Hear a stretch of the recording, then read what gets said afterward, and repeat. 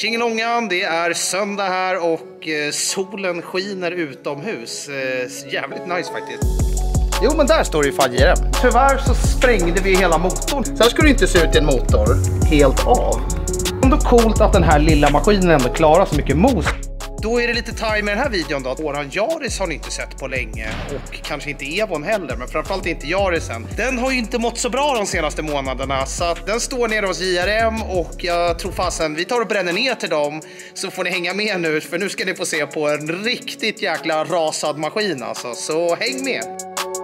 Så där då, då är vi på plats hos JRF. Nu ska vi kika in Yarisen. Jag har själv inte sett den sedan vi bara lämnade den här för typ ett halvår sedan. Så vi går in, kollar in gömmorna och så ska jag berätta vad som har hänt med den.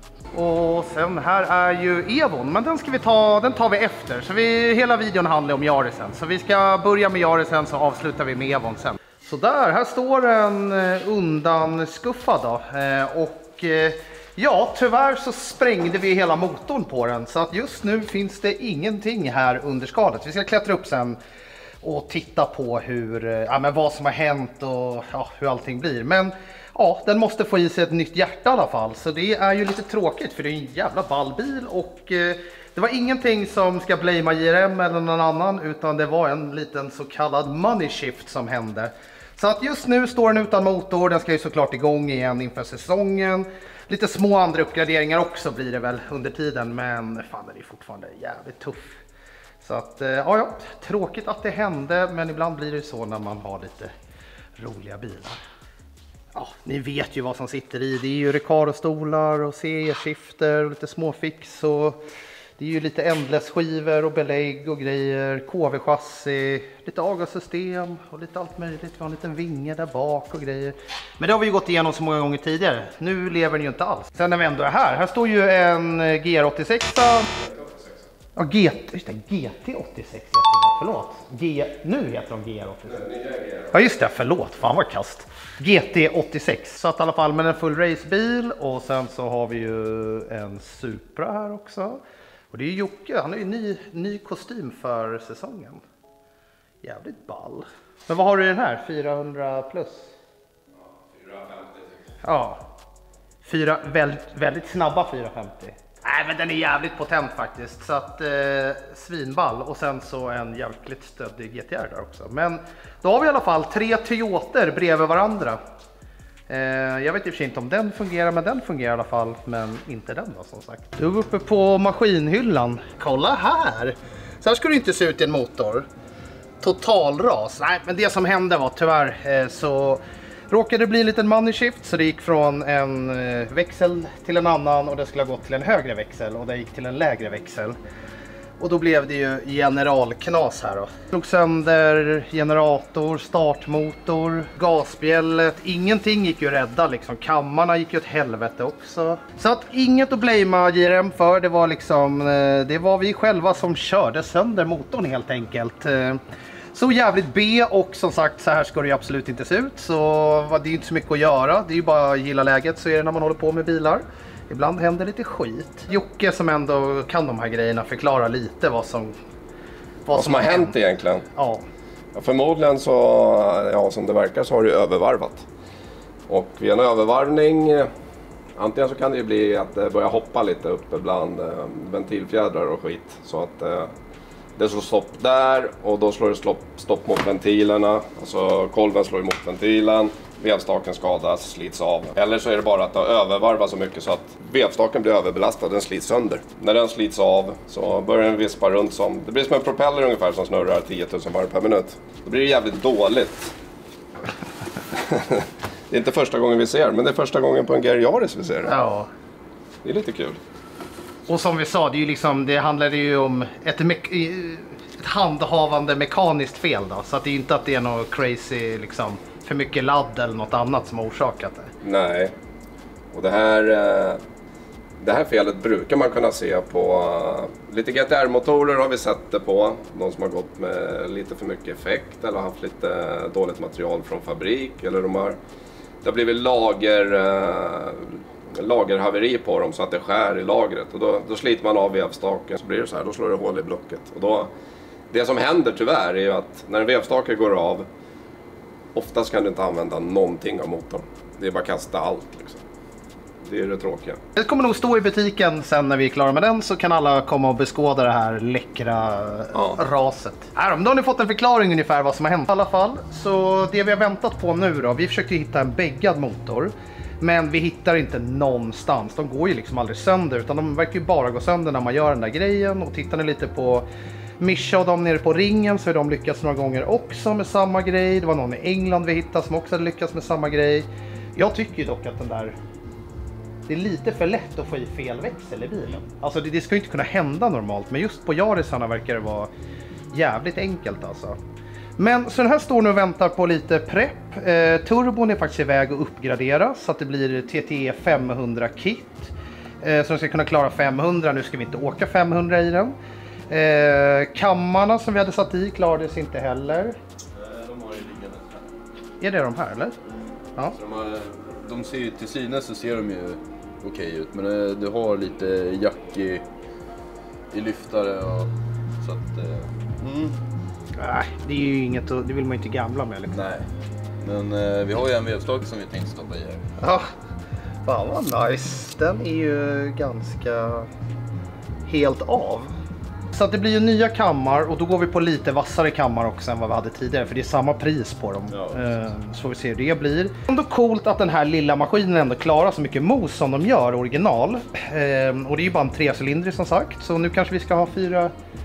Jag sa 470, 480. Ni lät inte riktigt lika peppade på det. Det, det är väl lite, man får väl se lite vart den landar Ja. när, när den känns stabil. Men runt 4,50 då kanske. Det vore ju kul. Så vi byter lite soppa, det blir lite nya spridare eh, och sådana grejer. Det här var ju absolut inte något som var planerat. Jävla skit egentligen. Men ja, ja. det kommer ju mer uppdateringar såklart när JRM börjar plocka tillbaka motorn och turbo och alla sådana här grejer också. Men nu är vi ändå här och Evon är ju där nere så vi springer ner och kollar lite snabbis på den, vad som sker. Eh, den får ju också lite uppgraderingar nu inför säsongen. Det var ju egentligen inget fel på den, men det var ju 20 år sedan som den byggdes. Så det är rätt mycket uppdateringar överallt som är på gång. Alla nya sådana här AN-kopplingar, slangar, det blir ett helt nytt turbokit. Och ja, det är egentligen för att det, är så gam- det var så gammal HKS-turbo som var hur bamsig som helst. Och kolla nice med screenpipe och grejer. Men annars, jag har bett dem gå igenom hela bilen, byta allt som ser dåligt ut. Det blir helt nytt eh, soppasystem. Förut var det lite så här halv konstig lösning där eh, pumpen liksom var, tvingades in. Den ska ju suga men det blev liksom med dubbelpumpar och grejer. Så nu har de byggt om hela det. Och sen som sagt alla nya så här kopplingar, små grejer. Det här var bara jag själv som gjorde sån jävla rutten lösning. Den ska bort. Och sen så ser ni, kolla den här bakvagnen. Det här är ju porr på riktigt. Så mer eller mindre typ en rörrams och bakvagn med RS-diff och grejer. Öhlins var ju schyssta och hjälpte till att bygga om dämparna så att de är typ, eh, ja, men typ fjolårets VRC-spec på dem.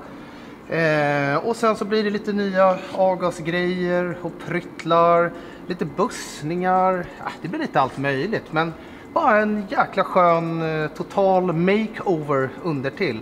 Återigen som sagt nya AN-kopplingar, de var ju 20 år gamla så att bara allting blir fräscht. Och sen så, ja annars ni ser det AP-bromsar på den, ja linare. Lite nytt och fräscht överallt. Men nästan så vi hissar ner den ska vi filma ovanifrån också. Och sen blir ju alla slangar kommer vara svarta nu framöver så att det inte är såna här gamla blåa Samco-grejer. Så ni ser, nytt här i alla fall än så länge.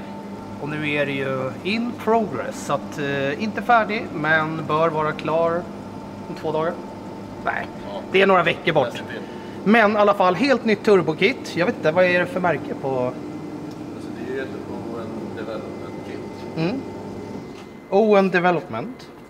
Eh, och ni ser ju dels, det, den är inte direkt större rent fysiskt än den gamla men det är så mycket modernare grejer. Så här är ju gamla 1800-talsgrejerna som satt på då. En gammal HKS-snurra. Eh, det var väl inget större fel på det då men, men det har ju hänt lite. Lilla wastegaten. Ja, verkligen. Eh, ser ut som, ja, det var, inte, det var inte igår det här gjordes liksom. Så lika bra att uppdatera sig och fan, men få mycket bättre körbarhet och, och allt sånt där liksom. Så att här är gamla HKS grenrör och turbo. Eh, men i alla fall med nytt grenrör, ny turbo, sen kommer spola mycket, mycket snabbare. Eh, vad blir det mer då? Vi har ny en sån här kolfiber luftfilterbox. Ja precis, det blir en kolfiberluftbox. Det blir en, eh, en schysst catchcan till, som expansionskärl då. Sen har du ju surge tank till soppan. Precis. Så att allting blir ju mer moderniserat men mer cleant. Ja. Och då tar man ju bort den här eh, Nackadukt-grejen som sitter här så blir det kolfiberbox för luftfiltret. Motorkåpan inne på lackering. Ny sån här tändstiftskåpa och grejer. Eh, äh, men bara allmän skön overhaulen på allting så att allt, inget ska läcka och inget ska vara konstigt och allt ska bara lira och funka. Effektmässigt 550 typ är väl planen på bensin. Hoppas jag. Vi får se vad det blir. 750 på nästa. Ja men precis. Nej då, men den, den ska rulla på bensin. Jag har gått igenom bilen sedan tidigare men som sagt Öhlins hjälpte till förra säsongen att uppdatera allting med eh, nyrenoverade och fräschade dämpare och grejer. Sitter lite lättviktsbatteri i den. Här sitter ju AIC-pumpen i normala fall. Kanske inte, eller är det pumpen som sitter här eller är det bara reserv- behållaren? Va? Det är behållaren. Bara behållaren. Men så den är ju borta nu när vi har bytt allting. Annars är det ju... Det är lite dammig grejer när den har stått här. Men annars är det ju fullbur och grejer i den. Man får ju sitta med lite hörselkåpor här inne då, för det låter ju en hel del när man är ute och kör med den. Jag har ju fått på, sen vi, ni såg den senast på Youtube, har vi fått på VRC-speglar. Eh, och sen så insidan, det är så jäkla stora stolar, eller jävla enorma stolar. Eh, så de måste jag ta tag i också, för jag flyger bara runt som en liten vante här inne. Men annars bara en skön overhauling på hela grejen. Så den ska ju vara färdig till säsongen, ska vi ta den på så mycket bilträffar vi bara kan. Och ja, det är ju en röd Tommy Mäkinen nu liksom. Så att eh, då är det värt att hålla den snygg och fräsch. För den har ju inte gått så långt och eh, den har ju varit bra underhållen tidigare. Så då får man ju fortsätta med det. Men men, ni såg ju Yarisen i alla fall. Den är på gång, den kommer att ske. Så att eh, hoppas ni gillar videon och så ses vi i nästa video då. Så tja!